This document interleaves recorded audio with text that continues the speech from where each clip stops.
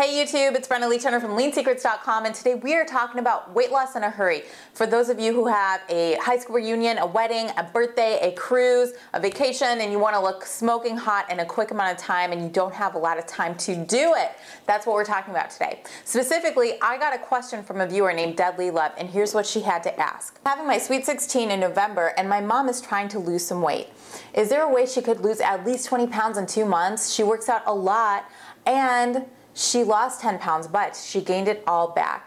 Any advice? If so, please reply soon. Well, Deadly Lover, thank you so much for your question. It's a very common question, as you can imagine, but your question is also kind of broad. I'm not sure how much your mom weighs. I'm not sure her current body fat percentage. I'm not sure of her age, nor am I sure of what kind of exercises she's doing. So it's kind of a broad question and a broad issue. So what I'm going to do is offer pretty broad but awesome weight loss advice that works 100% of the time across the board for everybody. It's kind of a no-brainer. And if your mom uses these tips, and if you, the viewer, uses these tips, you can lose a lot of weight if you're in a hurry and you need to lose it quick. So, if you want to lose weight in a hurry, here's what you need to remember. You have to remember that this special event is not a finish line. I don't want you to see this special event, whether it be a wedding, a family get together, a high school reunion, or a birthday party. I don't want you to see it as a finish line because there is no finish line in weight loss or in health or in fitness. You have to commit to this lifestyle for the rest of your life so that you're not stuck in this jiffy in the future. You don't want to have to go and do this every single time you have a special event. Wouldn't it be great to just be healthy all the time and never have to diet again? So that's our goal here. We want to adopt new habits that are going to stick forever. Now that we've got that covered and we all know that there is no finish line in weight loss and no matter what you look like, you should always be striving to be better and you shouldn't stop once you hit a goal. You should always be improving. We're gonna jump into how to jumpstart your weight loss and get you going so that you look hot on that special event. The first most important thing you got to remember when eating and exercising is this is crunch time. Every little bit counts. Every walk, every bite of food you take, everything counts and there's no wiggle room here. We have to really dedicate and focus our energy on eating the right foods and using our body in the right way. So that means sometimes when your friends are going out and having beers or when your uh, coworkers are having pizza for lunch, you've got to decline it because every little bit of food and every exercise hour counts towards looking hot on that special date. And number two thing I want you to remember is you've got to eat enough food. You can't go to the default mode of starving yourself and going on a crash diet because that's going to slow your metabolism down and it's going to end up biting you in the ass right before that special event. You're going to be bloated and you're not going to be sure why. You're going to be panicking and you're going to be frustrated. Also, if you don't eat enough food, you're going to be tired. You're not going to have enough energy to work out and you're gonna be just crabby altogether. You're gonna be miserable. So you've gotta make sure you eat enough food. That means eating four to five meals every single day. Make sure you eat breakfast, a snack in between, lunch, a snack in between, and dinner every single day. Don't skip meals. Do not skip meals. I repeat, do not skip meals. Every single one of these four to five meals, I want you to include a lean protein source, a fibrous carbohydrate, and a little bit of healthy fat. And just so everybody's clear on what all this means, I'm gonna take you to my kitchen right now and show you a healthy day of eating and what a healthy day of eating looks like. Okay, so let's go. A good breakfast would be egg whites with oatmeal, and a little bit of unsweetened vanilla almond breeze or any kind of unsweetened almond milk. But we don't want to have normal milk. We don't want to have cereal. We don't want to have toast or anything like that. So instead of doing that, you could do egg whites with oatmeal. You could do scrambled eggs with a little bit of oatmeal. You could do um, salmon with rice. You can do any kind of lean protein and natural carbohydrate that isn't refined or processed. So this is a perfect idea for breakfast, let's move on to our snack. And before I forget, every single meal should have some kind of fibrous carbohydrate, i.e. a vegetable. Every single meal should have a vegetable in this point. But moving on to the snack. Snack could be um, hummus with carrots. Uh, snack could be some, um, another snack could be a piece of fruit with string cheese, nuts like raw nuts with an apple, any kind of um, lean protein slash fat source with any kind of piece of fruit. This would be a perfect time to have a little bit of fruit. This second meal in, in the day because your blood sugar is kind of dropping down so we want to stabilize it with some fruit um, and also make sure you include some kind of vegetable in every single meal. But this is the Oasis hummus. It's zero fat and it's really, really good. So that's a good snack. So, so for lunch, what we'd want to do is some kind of fish or lean protein. So tilapia would be great. Cook this on a Sunday and then you'll have it for the rest of the week. So tilapia with some kind of salad and vegetable and some kind of brown rice. Cook a whole batch of brown rice, have it for the rest of the week and just use um, maybe a couple tablespoons, like a third of a cup for your lunch meal. And what you want to avoid in lunch is the typical healthy idea of having a Subway sandwich or a regular turkey sandwich. We want to avoid sandwiches because of all that bread. We don't need that bread. So avoid any kind of bread for this point forward.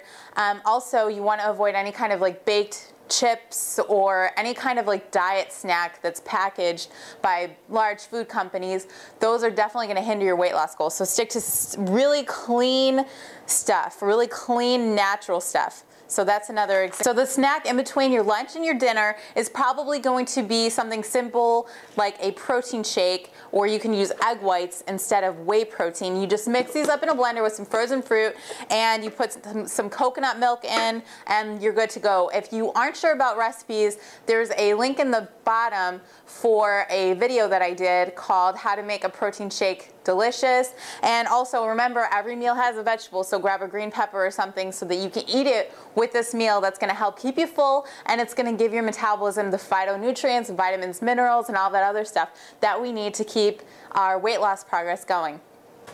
So in your dinner and your snack after dinner, the snack after dinner is totally optional. You don't have to do that.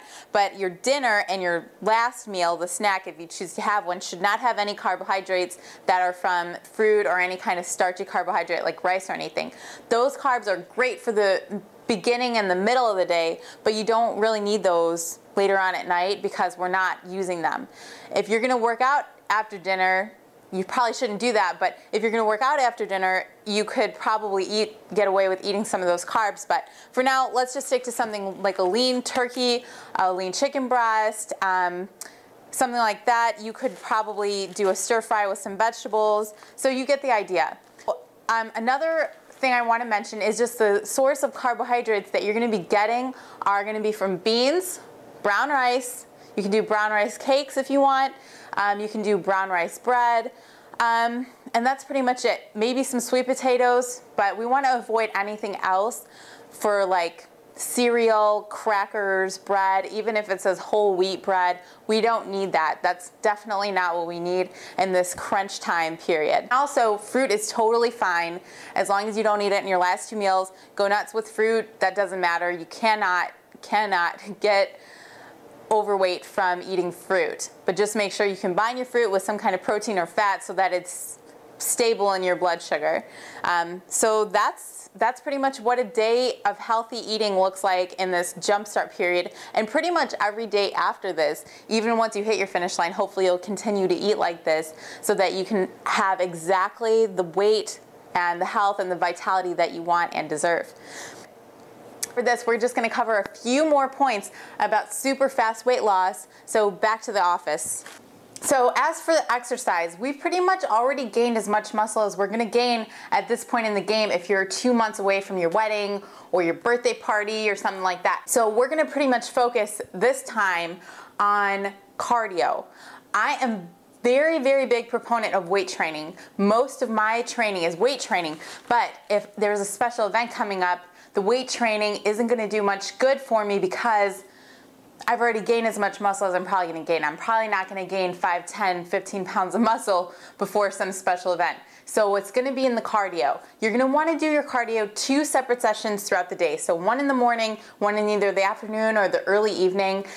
The reason that we split our cardio up into two separate sessions is because it raises your metabolism every time that you work out, even just a little bit. So if you raise your metabolism at two separate times throughout the day, it's going to obviously benefit you. You're going to be burning more calories in the long run than if you just did one long cardio session throughout the day. So each session should be about 30 minutes up to an hour. So you could do up to two hours combined of cardio. And also when you're moving and you're doing your cardio, make sure that you're sweating. You've got to be intense enough. Ask yourself on a scale one to 10, how intense am I working right now? Is it a one? Is it a 10? You want to be at least at a seven. No matter if you've never worked out before in your life, you want to make sure that your personal exertion rate is about a seven, eight, or nine, um, even 10 sometimes. Really push yourself. We're not just talking about going on nice leisurely walks.